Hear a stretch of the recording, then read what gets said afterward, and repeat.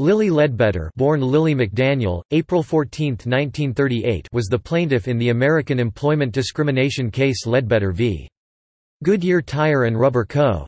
Congress passed a Fair Pay Act in her name, the Lilly Ledbetter Fair Pay Act of 2009.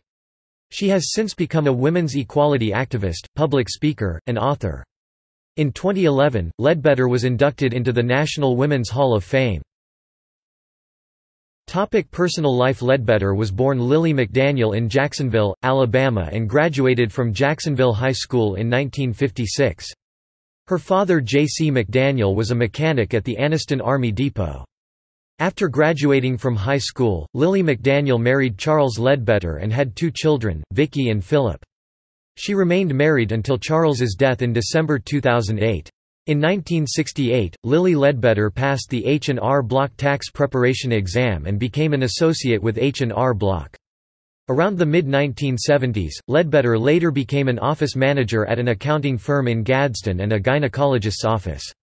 Lilly Ledbetter worked at Jacksonville State University in Jacksonville, Alabama, as the Assistant Director Financial Aid from May 1974 to December 1975. Ledbetter v. Goodyear Tire and Rubber Co. In 1979, Lilly Ledbetter was hired by Goodyear, working as a supervisor. After working for Goodyear for 19 years, Ledbetter received an anonymous note revealing that she was making thousands less per year than the men in her position. Only as she neared retirement did she learn she was being paid significantly less than male colleagues with similar seniority and experience. This letter led her to file a sex discrimination case against Goodyear. She sued the company for paying her significantly less than her male counterparts.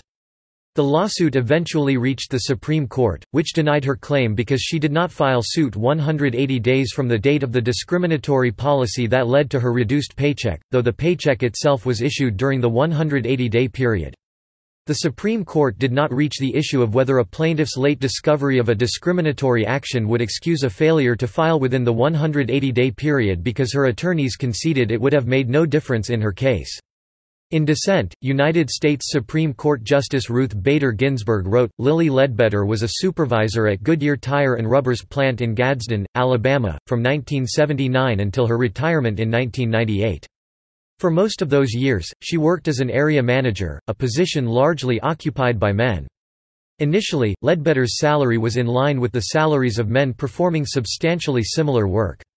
Over time, however, her pay slipped in comparison to the pay of male area managers with equal or less seniority.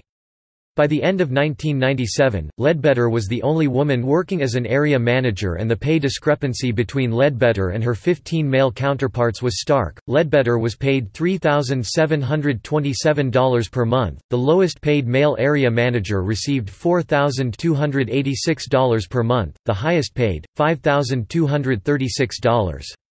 She successfully sued Goodyear but the judgment was reversed on appeal by the 11th Circuit, with the Supreme Court affirming that decision in 2007, as her suit had not been filed within 180 days of the discriminatory action that resulted in her diminished paycheck. In response, Congress later passed legislation that restarted the 180-day clock every time a discriminatory paycheck was issued.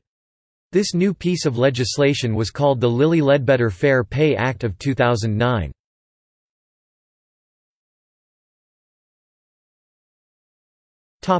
Lilly Ledbetter Fair Pay Act of 2009 Subsequently, the 111th United States Congress passed the Lilly Ledbetter Fair Pay Act in 2009 to loosen the timeliness requirements for the filing of a discrimination suit so long as any act of discrimination, including receipt of a paycheck that reflects a past act of discrimination, occurs within the 180-day period of limitations. The act sought to reverse the Supreme Court's ruling in Ledbetter v. Goodyear, which restricted the time period for filing pay discrimination claims, making it more difficult for workers to file a complaint. Under this bill, every discriminatory paycheck or other compensation can be filed, unrestricted from a time period for filing a claim of pay discrimination. Passage of the act did not result in Ledbetter receiving a settlement from Goodyear. Although Lilly will never receive restitution from Goodyear, she said, I'll be happy if the last thing they say about me after I die is that I made a difference." The Lilly Ledbetter Fair Pay Act was President Barack Obama's first official piece of legislation as president. He said, When I came into office, we passed something called the Lilly Ledbetter Act, named after a good friend of mine, Lilly Ledbetter, who had worked for years and found out long into her work that she had been getting paid all these years less than men, substantially. She brought suit. They said, well, it's too late to file suit because you should have filed suit right when it started happening. She said, I just found out. They said, it doesn't matter. So we changed that law to allow somebody like Lilly, when they find out, to finally be able to go ahead and file suit. By 2011, over 350 cases had already cited the Ledbetter decision since it was handed down in 2009. Ruth Bader Ginsburg has a framed copy of the bill, Lilly Ledbetter Fair Pay Act, in her chambers.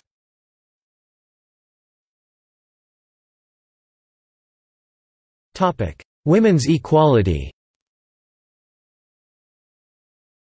On August 26, 2008 Women's Equality Day, Lilly Ledbetter spoke at the Democratic National Convention in Denver, Colorado, on the topic of pay equity. She said, "...this cause, which bears my name, is bigger than me. It's as big as all of you. This fight, which began as my own, is now our fight—a fight for the fundamental American values that make our country great." Ledbetter also declared that, what we lose can't just be measured in dollars. In February 2012, Ledbetter released Grace and Grit, My Fight for Equal Pay and Fairness at Goodyear and Beyond, a memoir detailing her struggle for equal pay. Her book chronicles her life from her humble beginnings in Alabama to the passage of the Lilly Ledbetter Fair Pay Act, signed by President Obama in 2009. Grace and Grit is the first time she shared her life story and journey leading to her national struggle for fair pay. On September 4, 2012, she spoke at the Democratic National Convention in Charlotte, North Carolina. On October 31, 2012, Lilly Ledbetter appeared as a guest on The Colbert Report to promote her book, Grace and Grit, My Fight for Equal Pay and Fairness at Goodyear and Beyond.